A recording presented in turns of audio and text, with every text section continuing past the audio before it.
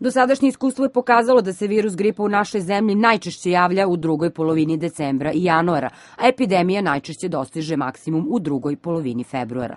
Tokom protekle dve sedmice, lekari u Domu zdravlja imali su povećan broj pacijenata obolelih od akutnih respiratornih infekcija, među kojima je bilo i onih sa simptomima sličnim gripu. Veliki broj njih evidentiran je u Zavodu za javno zdravlje na području Pčinskog okruga detektovali virus gripa u cirkulaciji. E, broj obolelih raste, međutim nema teških formi bolesti.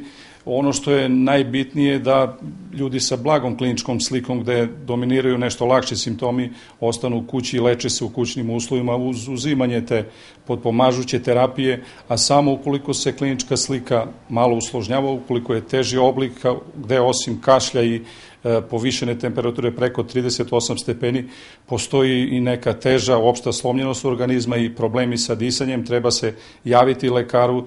Pre nego što posetite lekara, pokušajte grip pobediti starim, dobrim sredstvima, kao što su topli čaj, vitamin C, med i naravno nezobilazna pileća supica. Osim toga, u ovom periodu posebnu pažnju treba obratiti na povećan unos svežeg voća i povrća radi prevencije gripa. S obzirom da je grip virusna infekcija i ne reaguje na antibakterijsku terapiju, nikako se ne preporučuje uzimanje antibiotika na svoju ruku bez saveta lekara.